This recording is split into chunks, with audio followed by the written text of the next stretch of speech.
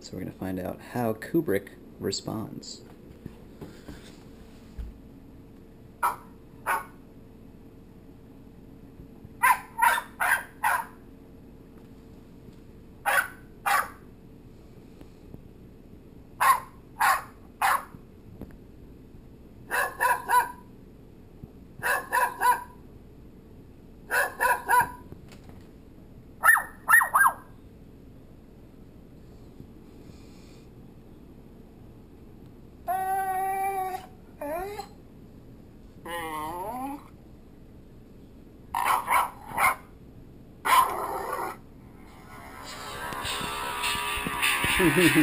Kubrick.